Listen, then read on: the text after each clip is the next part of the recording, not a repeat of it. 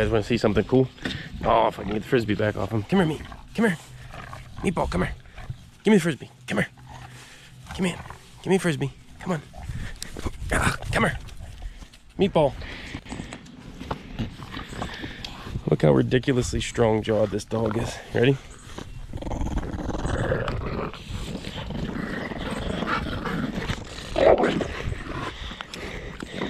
Completely off the ground.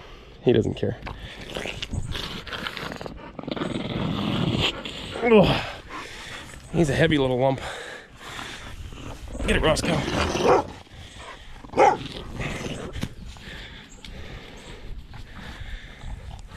Whew. I'll make you dizzy. Huh, Bubby? Huh, come on. Roscoe. Roscoe. Bubba. You sit? Sit. Give me paw. Good boy. Good boy, buddy. Yeah. Good boy. Anyway, on to the focus of this video today.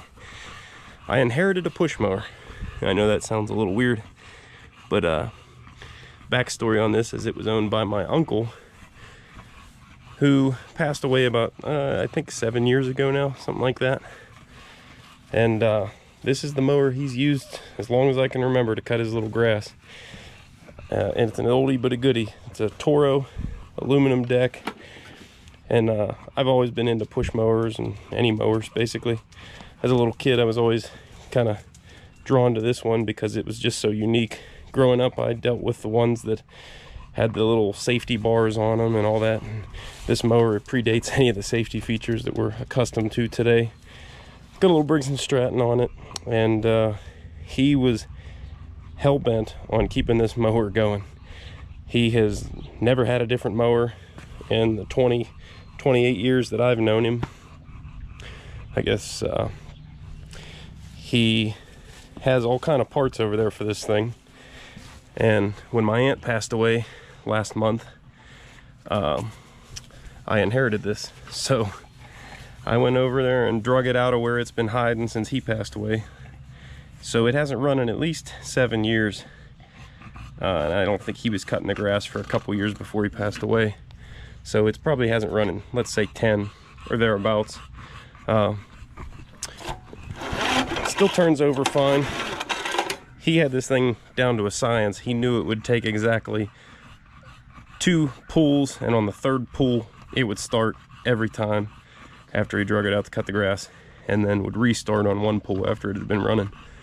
Um, but basically, he's got enough parts over there to probably build five more of these things identical to this one.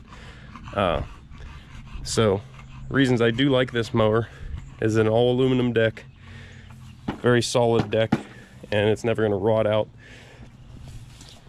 Your controls up here, you just have to push the thing, and now the front wheel drive is engaged. You can let this thing go, and it'll just drive across your yard, which uh, a lot of people would say is unsafe, but hey, if you're not an idiot, it's not going to be a problem. You got a throttle up here, you can actually adjust your idle speed and stop it from up here. So that's nice compared to today's uh, cheap mowers that you basically just throw away every two years. Ah, that cable's a little stiff on there. Uh, it's got a couple things like this knob's going. I can see it's cracked on there. It shouldn't be an issue. Uh, you can tell it's got some some schmutz on it from setting and looks like it has an oil leak. I remember him telling me the last time I saw him cutting grass with it, I remember him telling me it was going through about a quarter oil per season now. So it looks to me like it's just leaking it, probably not even burning it. It's a little three horsepower Briggs & Stratton on here. And like I said, I've got plenty of parts to choose from if we're gonna need some parts for it. Uh, but I remember being pretty proud of myself when I was younger because he told me the reason he liked this mower so much was the front wheel drive. You know, when you go to make a turn with it, you just lift up the front end and set her down and she takes back off again. But he liked that feature of it. So I had actually gotten a newer MTD style push mower that had the same front wheel drive feature. So being the smart little shit kid that I was, I went over there and said, "Oh, check out my new mower. Yeah, it's uh, it's front wheel drive. You should like it." And of course, it had the safety bar, and you had to be walking with it to control the self propel and all that. And it's kind of funny that mower. I bet you didn't last me five years, and here we are, probably 15, 15 years later from when I got that mower, and this one still should be fine to go. And that mower got scrapped a long, long time ago. So it just tells you this old stuff's built to last. You take care of it, and it's uh, gonna be around for my kids. So let's uh, let's see if we can't get this thing running.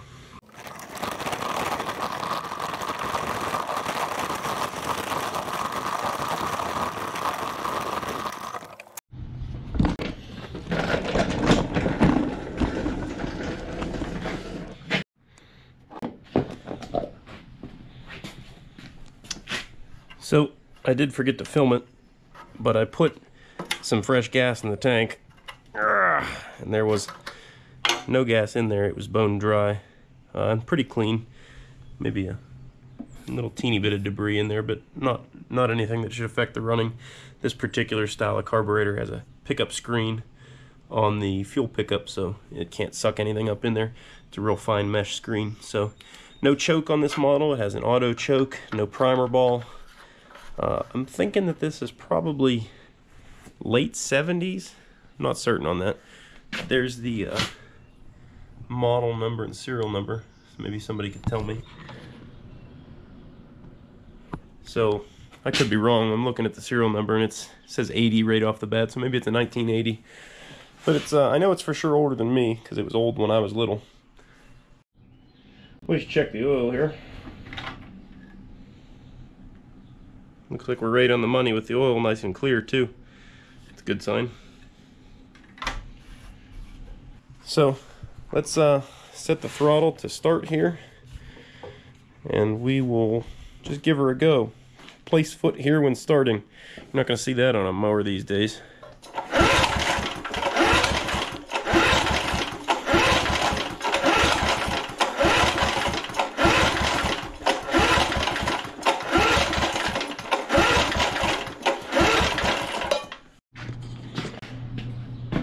So we got nothing. Not a pop, spit, sputter, nothing. Let's uh, take this air cleaner off, have a gander down inside the carburetor, see what we're working with here. These foam air filters will deteriorate when they're sitting a long time. All you gotta do is stick your thumb in there and see what she's like. Uh, this one's starting to get a little crunchy, but not not bad enough to get sucked into the engine or anything. It's still pretty springy, it's just the exposed parts here that are kind of crusty.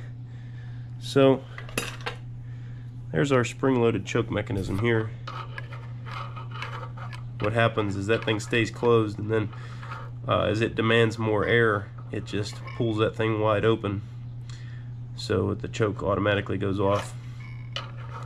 Uh, I can see fuel in the intake down in there. I'm not sure if you guys can, but it's it's wet down in there. It's shiny, so it is drawing it up into the intake.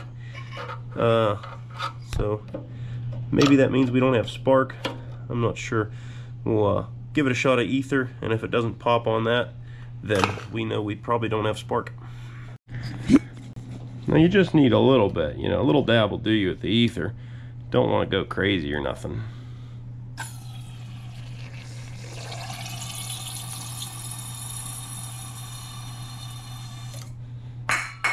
Yeah, a little dab will do you. If she don't pop on that, she ain't got spark.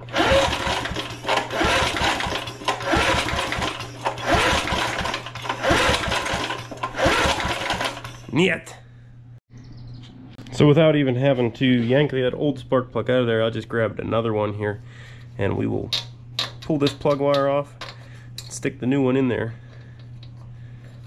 Uh, hard to do one-handed. There, I got her. And uh, angle it back at itself if we can. Probably gonna need two hands for this. Alright, so I just wire brushed this bolt right here, so that should be a nice good ground force. Now we just gotta hold the plug up here with some well-insulated pliers and just barely pull it off the surface there. See if we can see an arc when we pull it.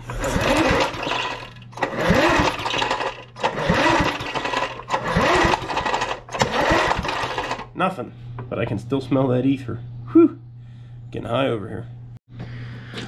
So knowing the backstory of this engine, uh, I know where it was stored. It's been stored in kind of a semi-outdoor with a roof over its head. So it's got exposed to the moisture for the last 10 years without being run. I'm betting our points got uh, corroded because uh, engines this old have points underneath the flywheel here. So we're going to go ahead and remove this cover and we'll have to pull the flywheel off and get to the cover underneath that that covers up the points and probably just give those a quick sanding and uh, we'll have spark again. Before we uh, get any further on this thing, I'm going to give it uh, one good blow job here just to get some of the loose crap and cobwebs and cat fur and everything off of it. Uh, I can't stand working on all this. Oh, goodness, that's bad.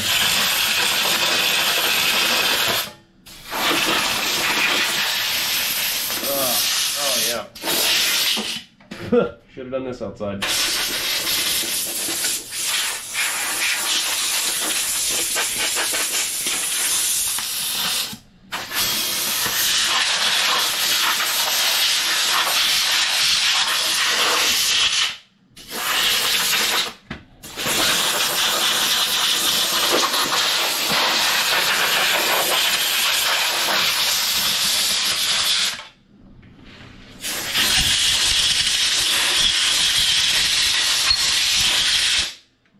Ugh. Well, that was a poor choice of actions on my part. Look at the mess I got to clean up now. Ugh. But it actually blew off pretty good, so that's good. Blowjobs fix everything.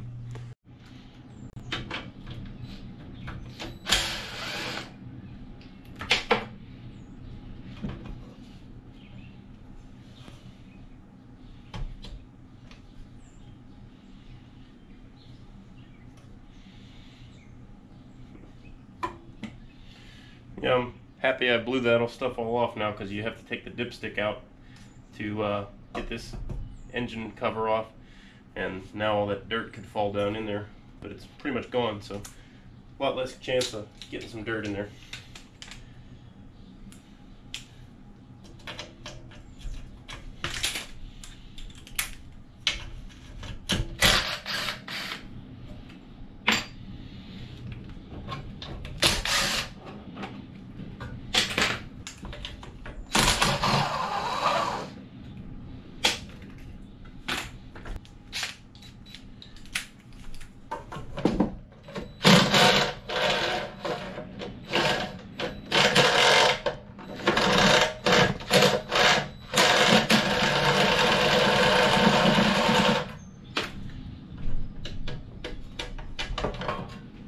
There we go. Don't see a pull start mechanism like that anymore. Cast aluminum too.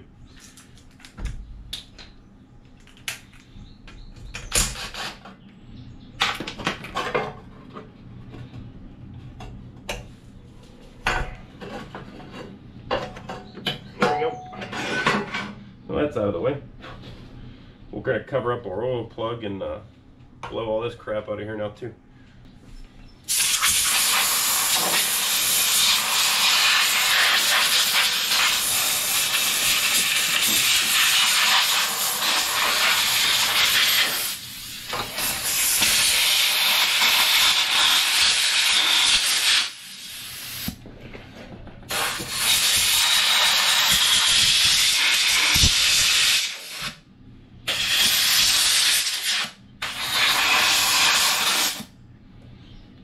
All right.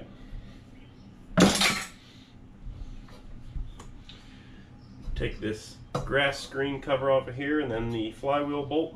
Hopefully she just comes right off for us. That's quarter inch, that's pretty small.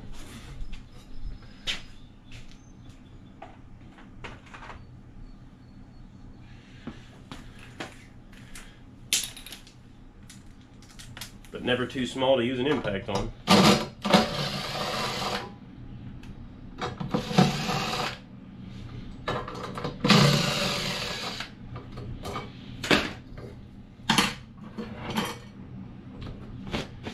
Size might you be?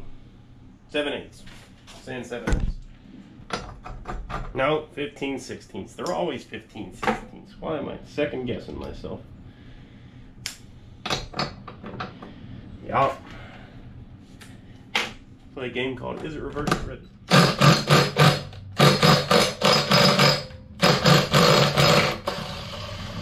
It is not reverse threaded.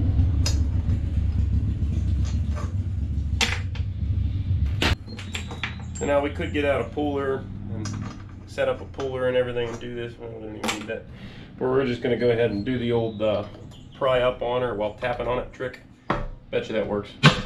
One tap, didn't even hit it hard. I know everybody's gonna tell me, oh, that's bad for the crank bearings. This motor is ancient. You're not gonna hurt the crank bearings. I guarantee that's how he got this thing off in the past. I'm sure he's been into here before. I can see there's silicone around the base gasket. So he's definitely been in here before.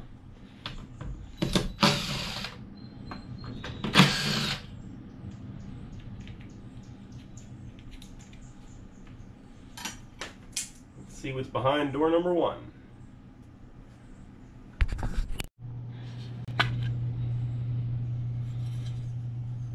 What do we got? What do we got? What do we got? Pretty corroded looking points. Not sure if the camera will focus on something that small. But, uh, oh yeah, I just slid them across themselves and they made a big mark. So we'll get the nail file and fix that up. Now, there are special files you can buy that are specifically made for filing points, but uh, probably just go into your wife's vanity there and steal one of her emery boards. That's what I do. She doesn't even miss them. Just give them a quick sand. And we'll actually take the air compressor and give them a little blowy there.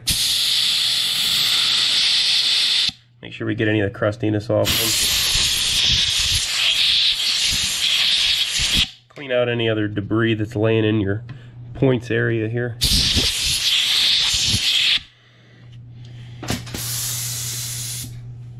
Now at this point, unfortunately, there is no other option to test that you have spark again, other than to put it all back together and pull it.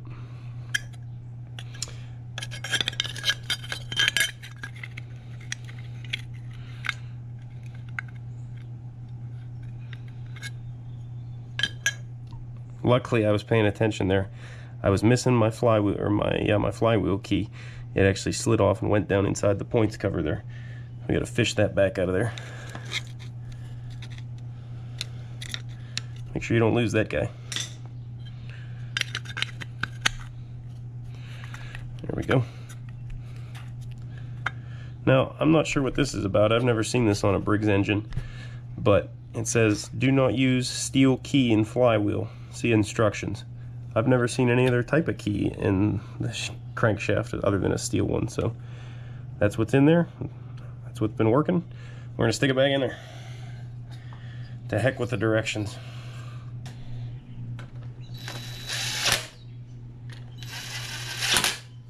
Torqued.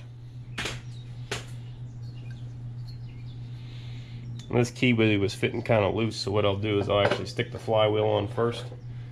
Can visually line up the keyway here. And we'll actually stick this keyway in now that the flywheel's on because it was wanting to fall out before. We'll just take that and kind of give it the old tappy tap tap. Actually, don't even need to worry about that because we're going to put this big washer on here with the crankshaft bolt nut. And it'll push that thing down in there just fine for us. Of course, I can probably, yeah, just lift the flywheel up. She went down in there. Beautiful.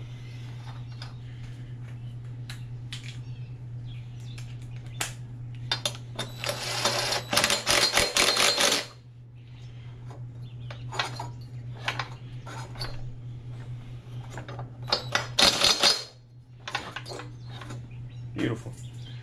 All right, now you can't use an impact for this because the impact will actually doesn't put out a lot of torque that wants to spin the whole motor.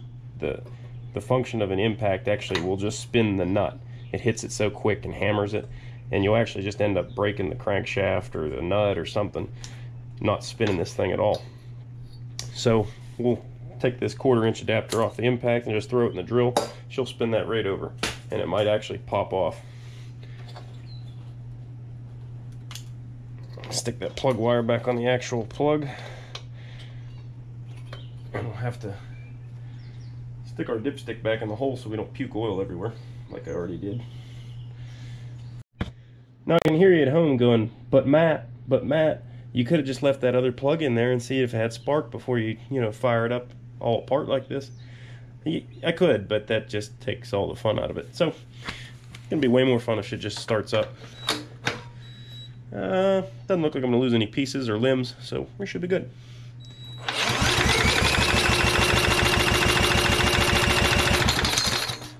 Huh. No dice. Maybe we don't have spark. Ooh, what do we got? Oh, we don't have the chuck turned all the way up. There she goes. She was trying. I heard a spit, sputter.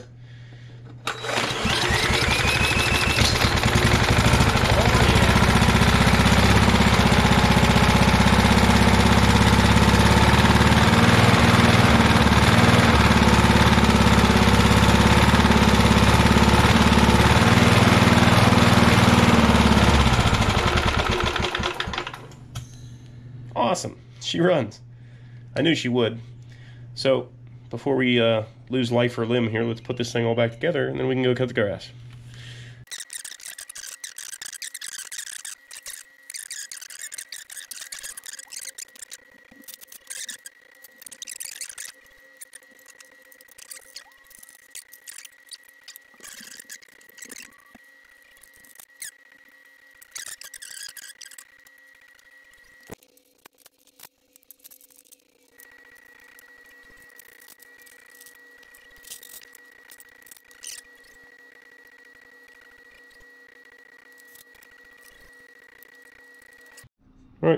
Back together. Throttle in the start position. Foot on the deck where it's supposed to be. Let's see if she starts back up easy enough. Oh, almost.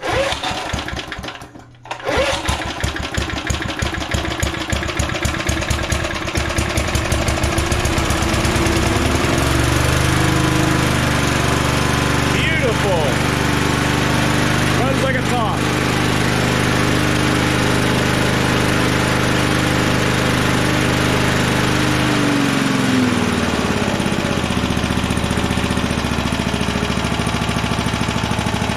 I remember this thing used to idle real nice and low for him.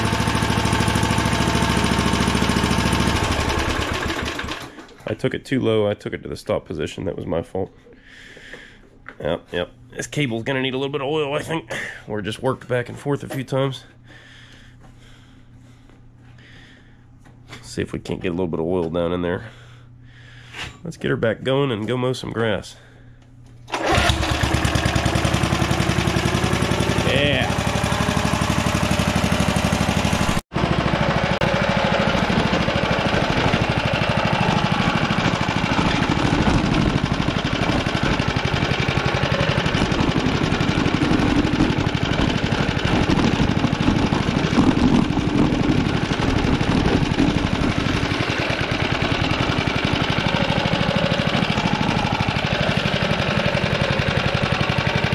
I did forget to see if the self-propel works. Let's uh, flick that in right now, see if it works. Oh yeah, she's driving.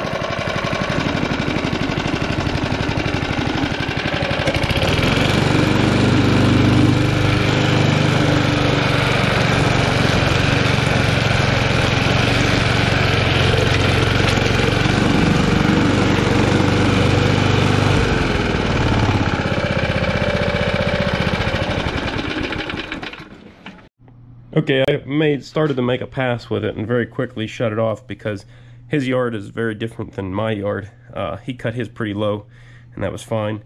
I cut mine pretty high. I like the nice, thick, luscious grass. That's just me. So I'm gonna jack these wheels all up, and uh, I cut everything on three inches. So I don't know where the blade's at here. Okay, so just feeling underneath there, the blade cuts pretty much even with the bottom of the deck so we can just measure from the bottom of the deck down to the concrete and uh, aim for three inches.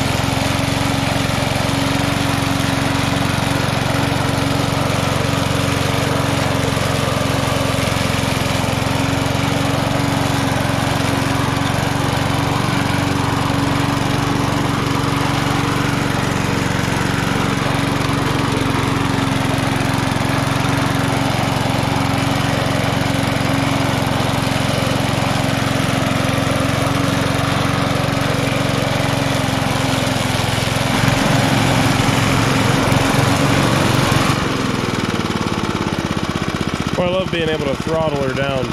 That's a feature you'll only find on uh, high-end professional mowers these days.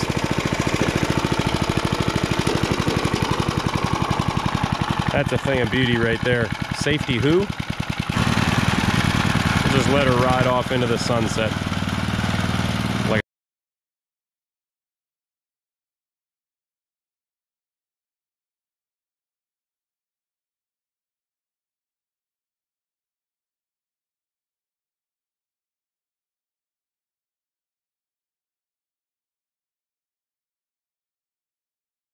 I call that a job well done. Cuts the yard pretty nice. Probably could use to sharpen the blade, but good enough for now. This is just the uh, the weeds that cover the dirt in my backyard. So a little bit more to do here, and then I go a little bit in the front. We're done. So anyway, if you like the video, guys, don't forget to hit the thumbs up button. And if you haven't already, of course, you better subscribe. I got way better videos than this. So I'll catch you on the next one. Later.